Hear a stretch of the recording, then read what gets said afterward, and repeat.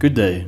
In this video I will show you how to import a custom section from a DWG or DXF file into your section database to allow you to use it within your structural analysis.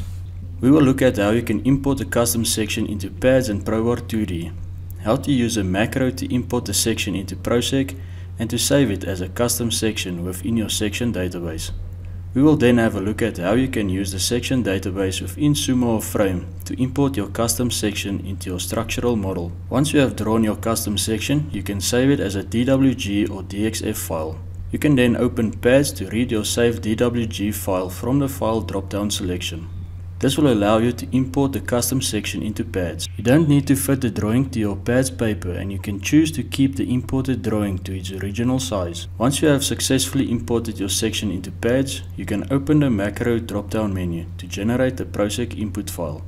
The commands at the bottom left hand corner will prompt you to select an outline of the section that needs to be traced. After selecting an outline, pads will ask you for another line as well as an opening to trace which in this case will not be necessary because we only have one shape and no openings within it.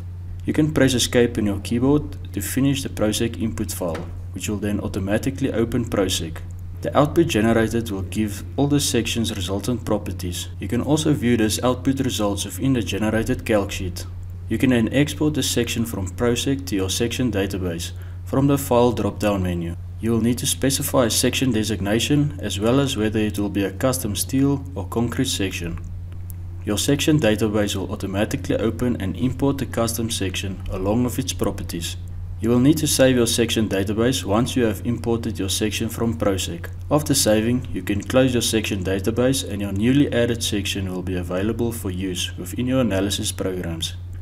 If you have ProBar 2D, you can perform the same procedure within AutoCAD.